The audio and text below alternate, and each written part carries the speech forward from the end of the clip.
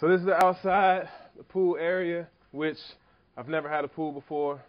So I figured I'm in Texas now, the weather's good, and I, I like it. You know, I'm able to come out here a lot of times after practice.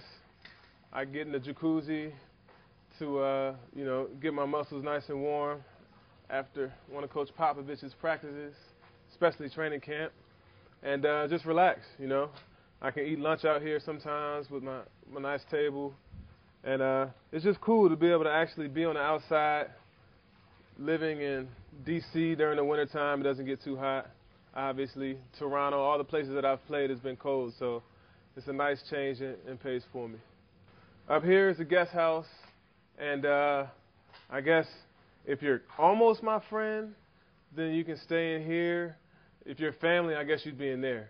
So the people that I don't really like, I just throw them in here. No, I'm just joking. just playing around. I got to get some furniture in here. Right now, it's not any in here, but it's cool. It's got a nice fridge, sink, um, and just some open space.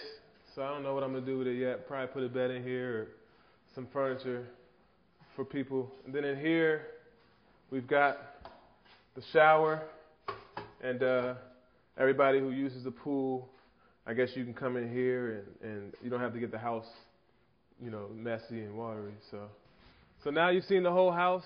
Um, next, I'm just going to show you how I'm eating to stay healthy and prepare for the season.